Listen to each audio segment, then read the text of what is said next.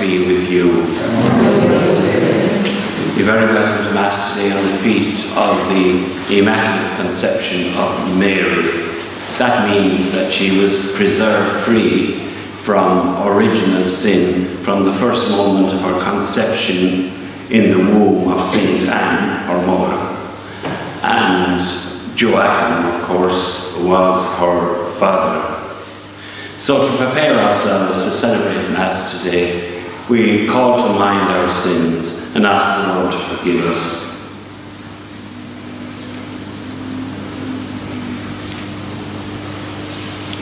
Lord Jesus, you are Word made flesh and splendour of the Father.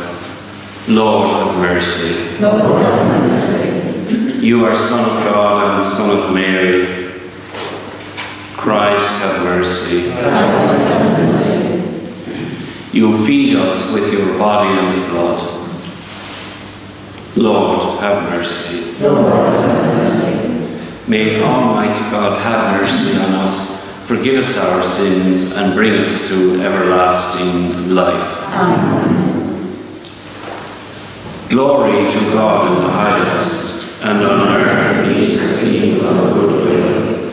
We praise you, we bless you,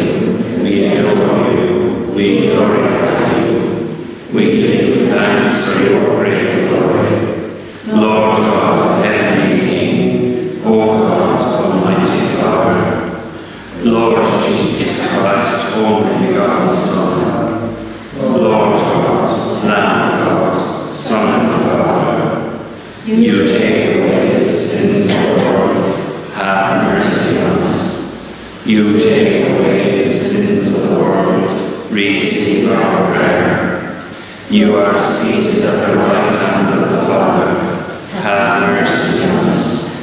For you alone are the Holy One, you alone are the Lord, you alone are the Most High, Jesus Christ, with the Holy Spirit, in the glory of God the Father. Amen. Let us pray. O God, who by the Immaculate Conception of the Blessed Virgin prepared a worthy dwelling place for your Son, grant, we pray, that as you preserved her from every stain by virtue of the death of your Son, which you foresaw, so, through her intercession, we too may be cleansed and admitted to your presence.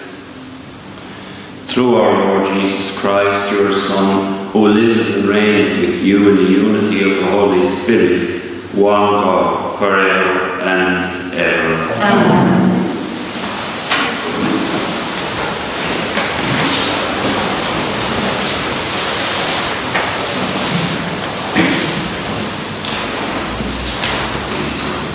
Reading from the book of Genesis.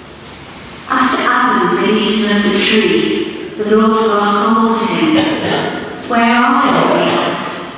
I heard the sound of you in the garden, he replied. I was afraid because I was naked, so I hid. Who told you that you were naked, he asked. Have you been eating of the tree I forbade you to eat? The man replied, It was the woman you put with me. She gave me the fruit, and I ate it.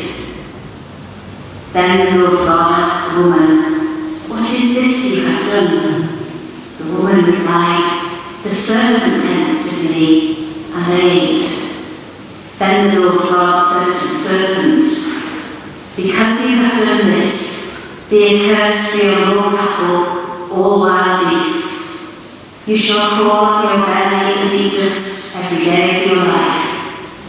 I will make you enemies of each other, you and the woman, your offspring and her offspring. It will crush your head, and you will strike its heel. The man named his wife Eve, because she was the mother of all those who lived. The word of the Lord. Sing a new song to the Lord, for he has worked wonders. Sing a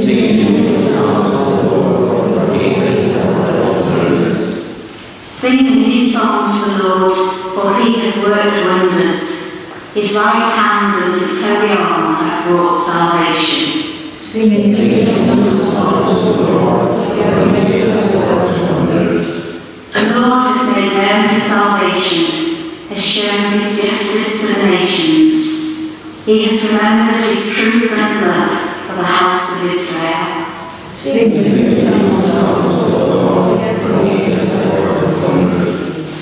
All the ends of the earth have seen the salvation of our God. Shout to the Lord, all the earth. Ring out your joy. Sing a new song to the Lord. A reading from the letter of St. Paul to the Ephesians.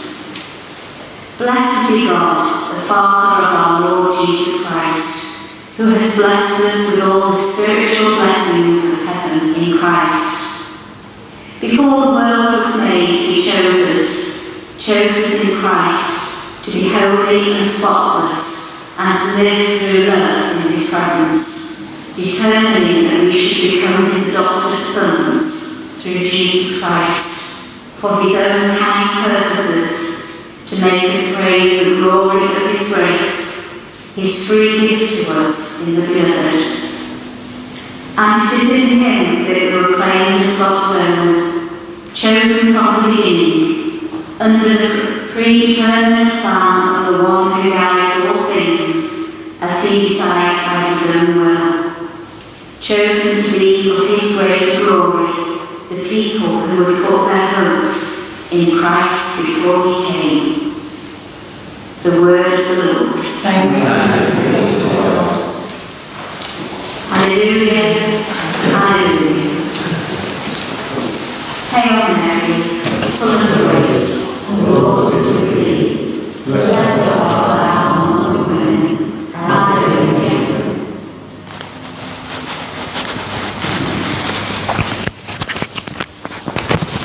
The Lord be with you. A reading from the Holy Gospel according to Luke. The angel Gabriel was sent by God to a town in Galilee called Nazareth to a virgin betrothed to a man named Joseph of the house of David. The virgin's name was Mary. He went in and he said to her, Rejoice, so highly favoured, the Lord is with you. She was deeply disturbed by these words and asked herself what this greeting could mean. But the angel said to her, Mary, do not be afraid, you have won God's favour. Listen, you are to conceive and bear a son, and you must name him Jesus. He will be great and will be called Son of the Most High. The Lord God will give him the throne of his ancestor David. He will rule over the house of Jacob forever, and his reign will have no end. Mary said to the angel, But how can this come about since I am a virgin? The Holy Spirit will come upon you, the angel answered, and the power of the Most High will cover you with its shadow. And so the child will be holy and will be called Son of God.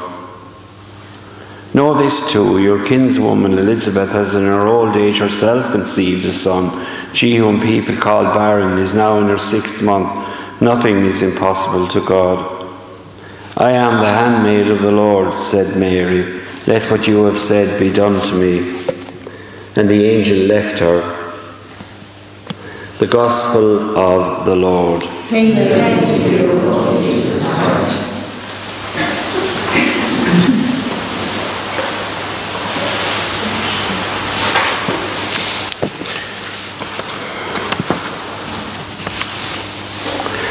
The doctrine of the Immaculate Conception teaches that Mary, the mother of Christ, was conceived without sin and her conception thereby was immaculate. Now, Mary's sinless conception is the reason why Catholics call Mary full of grace. So every time we say the Hail Mary, Hail Mary, full of grace, actually referring to her Immaculate Conception, today's feast. William Wordsworth, the poet, he was a devotee of Mary, believe it or not. He referred to her as, and this was before the doctrine was proclaimed in the church in 1854, he said that she was our tainted nature's solitary boast. And that surely refers to the Immaculate Conception. The Feast of the Immaculate Conception is celebrated by Catholics on December the 8th each year. That's exactly nine months before her birthday, of course, which is the 8th of September. Many people confuse the Immaculate Conception, and maybe you do as well, um, with the virgin birth. It's nothing to do with the virgin birth of Jesus. They believe that Mary gave birth to Jesus while remaining a virgin. That's, we also believe that, but that's not today's feast. They are not the same thing. A less common mistake is to think that the Immaculate Conception means that Mary was not conceived in the ordinary way. Of course she was. In fact, Mary had ordinary human parents, just like you and me, and their names were Joachim and Anne, who conceived Mary in the ordinary way, the way we were conceived. Mary received God's grace from the first moment of her existence, and she was totally and completely redeemed by this grace. Because she was redeemed, Mary spent the whole of her existence in perfect relationship with God. God, why did God do this? Well, He did this basically so that Mary would be the worthy mother of God. So it would be inconceivable if Mary was tainted with original sin like we all are and then be at the mother of God at the same time. That wouldn't sound right. So God, in His goodness, preserved her from that sin, which we suffer from, and is passed down through propagation. It's not a personal sin, but because of original sin, we're suffering from things like the pandemic. If we didn't have original sin, you can forget about that. We suffer from death as well. We suffer from sickness. All these things are the residue of original sin, which is denied today by so many people. They think science can overcome everything. Mary received this redeeming grace not because of any merits of her own. She was a very humble woman. She didn't know what was all about. She actually said, The Lord has looked upon his lowly handmaid. Not because of any merits of her own, then, but because God freely gave her the gift of his love. St. John Paul II had a great devotion to Mary, and the motto of his ministry, of his pontificate, was Totus Tuus. And he was referring there to Mary. That was written on these big banners, if you notice totus tuus. And he got those words from St. Louis de Montfort, who um, was one of the greatest saints ever in reference to Mary. And this is what he said, John Paul II The grace of Christ the Redeemer acted in her in anticipation, preserving her from original sin and from any contagion of guilt. He said that in 2003.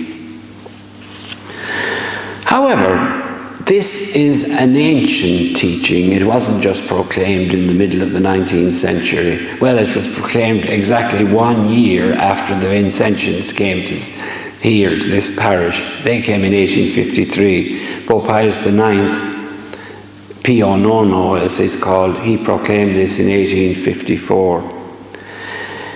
It's an ancient teaching, but it remains controversial to some Protestants because it is not explicitly referred to in the Bible. Early Protestant thinkers, however, were more devoted to Mary than some of their successors.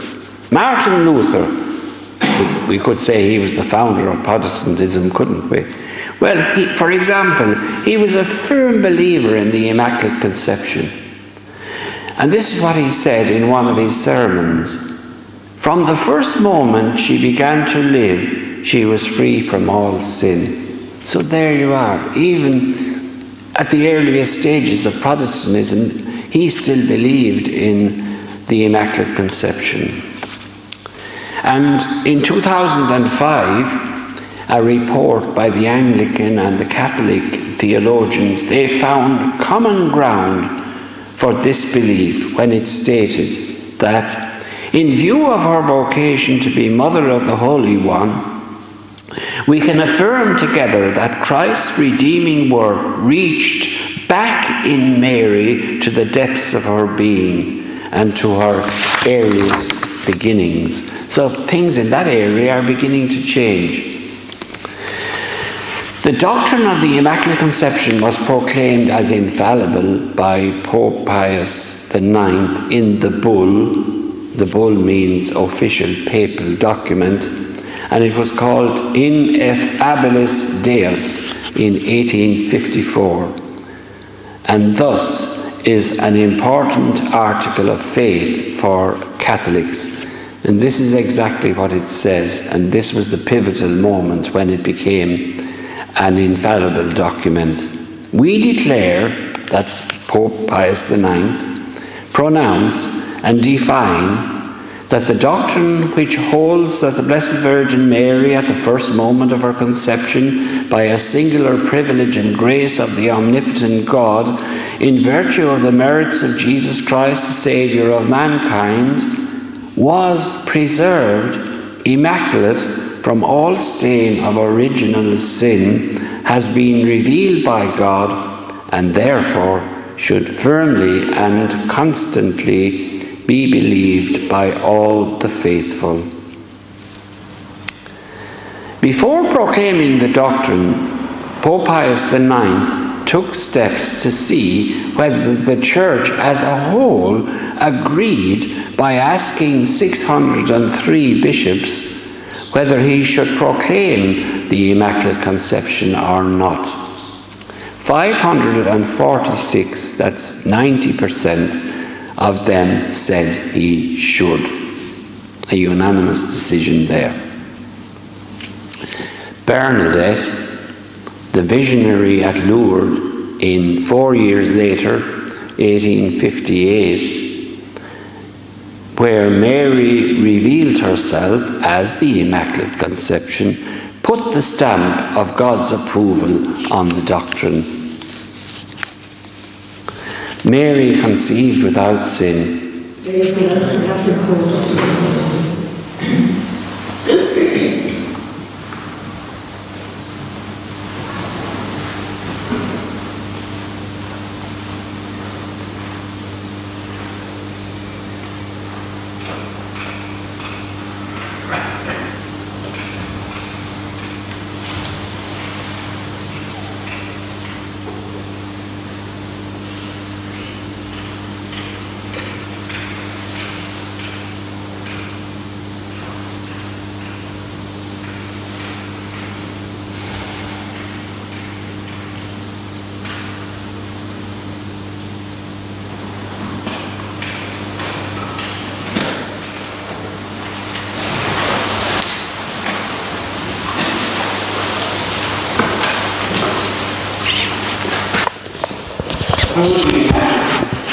Through the Immaculate Conception, God has bestowed on us every spiritual blessing. With special confidence in divine providence, we now pray. We pray for our Pope, bishops, and priests, and all who actively minister in the Church. May the Lord keep them close to his heart and bless them abundantly in their work. Lord, hear us. Lord, We pray for purity of heart and mind, that like Mary we may always be available to God and fully open to his inspirations. Lord, hear us. On this day, let us remember all unborn children, especially those recently conceived. We pray that safety, protection, and love would be granted to them, and that we, the Church, through the intercession of Our Lady, would, call, would take on the call to always uphold the value of unborn life. Lord, hear us. We pray for oppressed and marginalised people everywhere who deserve a better share in this world's blessings. May Mary help them with her prayers and may God grant them justice. Lord, hear us. Lord, graciously hear us. We pray for people who suffer and those who care for them, that as Mary shared in her son's suffering as she stood at the foot of the cross, God may bless and comfort them. Lord, hear us. Lord, graciously hear us. We pray for those who have died. May they follow Mary and all the saints into the glory of the heavenly kingdom. Lord, hear us. Let us join our prayers with the prayers of Our Lady. Hail Mary, full of grace, the Lord is with thee. Blessed art thou among women, and blessed is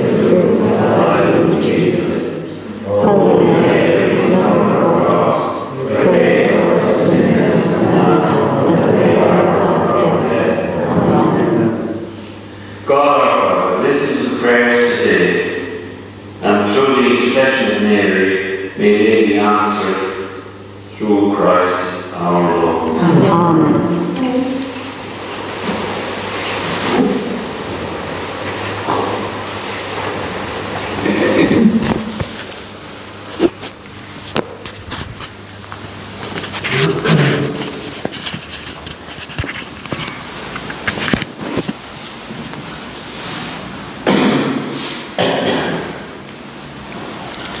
Blessed are you, Lord God of all creation, for through your goodness we have received bread we offer you, fruit of the earth and work of human hands. It will become for us the bread of life.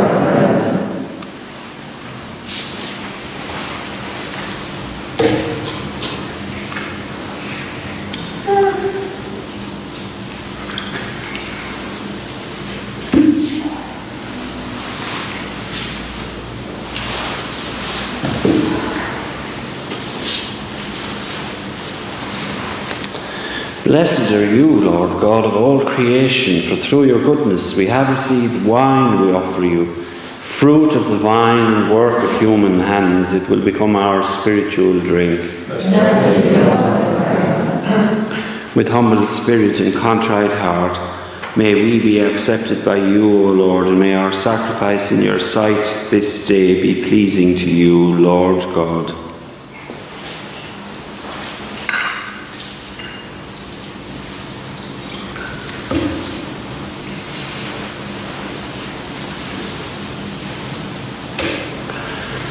Pray, brothers and sisters, that my sacrifice and yours may be acceptable to God, the Almighty Father.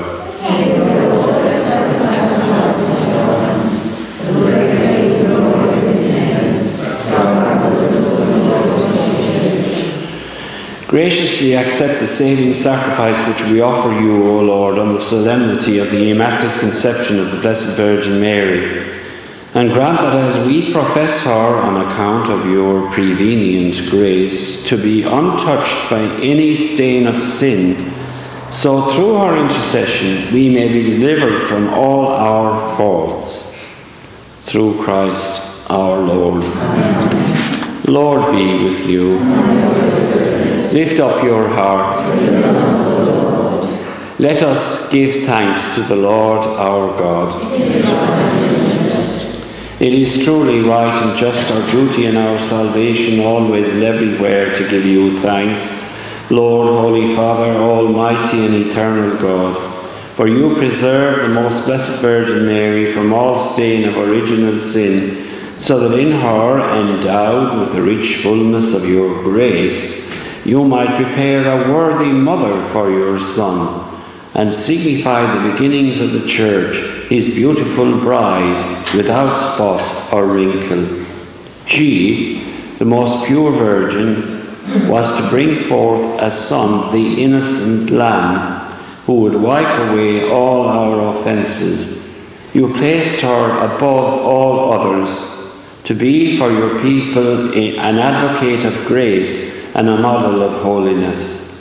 And so, in company with the choirs of angels, we praise you as with joy we proclaim Holy, holy, holy Lord God of hosts. Heaven and earth are full of your glory. Hosanna in the highest. Blessed is he who comes in the name of the Lord. Hosanna in the highest.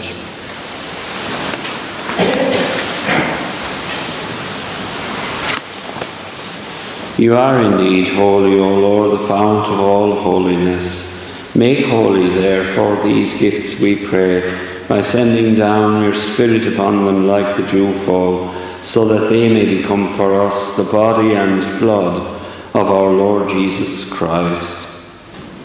At the time he was betrayed and entered willingly into his passion, he took bread and giving thanks broke it and he gave it to the disciples, saying, Take this, all of you, and eat of it, for this is my body, which will be given up for you.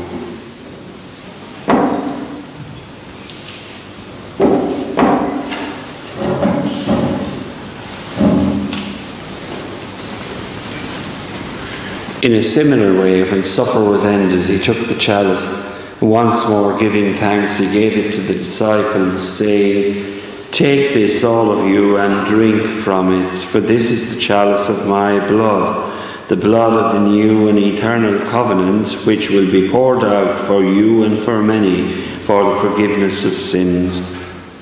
Do this in memory of me.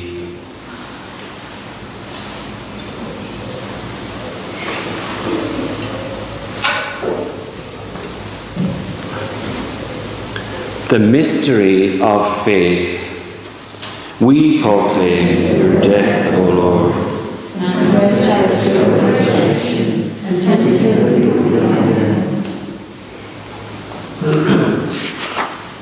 Therefore, as we celebrate the memorial of his death and resurrection, we offer you, Lord, the bread of life and the chalice of salvation, giving thanks that you have held us worthy to be in your presence and minister to you. Humbly we pray that, partaking of the body and blood of Christ, we may be gathered into one by the Holy Spirit. Remember, Lord, your church spread throughout the world and bring her to the fullness of charity, together with Francis our Pope and Ralph our Bishop and all the clergy. Remember also our brothers and sisters who have fallen asleep in the hope of the resurrection, and all who have died in your mercy welcome them into the light of your face. Have mercy on us all, we pray, that with the Blessed Virgin Mary, Mother of God, with Blessed Joseph, her spouse, with the blessed apostles and all the saints who have pleased you throughout the ages, we may merit to be co heirs to eternal life and may praise and glorify you through your Son, Jesus Christ through him and with him and in him, O God Almighty Father, in the unity of the Holy Spirit, all glory and honour is yours forever and ever. Amen. Jesus taught us to call God our Father, and so we say, Our Father, who art in heaven, hallowed be thy name. Thy kingdom come, thy will be done as it is in heaven. Give us this day our daily bread, and forgive us our trespass against us. Lead us not into temptation, deliver us from evil. Deliver us, Lord, we pray, from every evil. Graciously grant peace in our days, that by the help of your mercy we may be always free from sin and safe from all distress. As we await the blessed hope and the coming of our Saviour, Jesus Christ.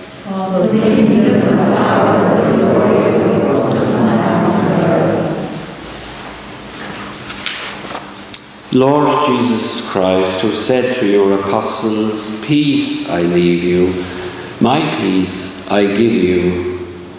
Look not on our sins, but on the faith of your church, and graciously grant her peace and unity in accordance with your will, who live and reign forever and ever. Amen. And the peace of the Lord be with you always.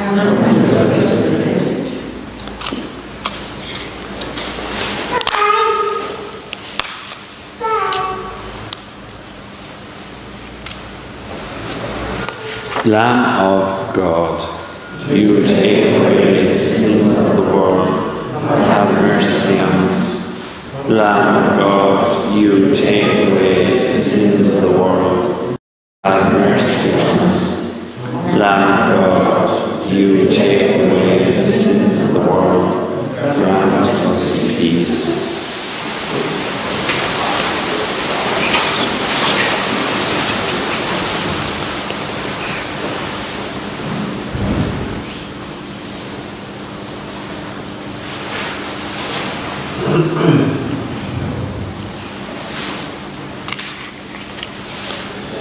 Behold the Lamb of God, behold him who takes away the sins of the world. Blessed are those called to the supper of the Lamb. I am not worthy that you should enter under my roof, but only say the word, and my soul shall be healed.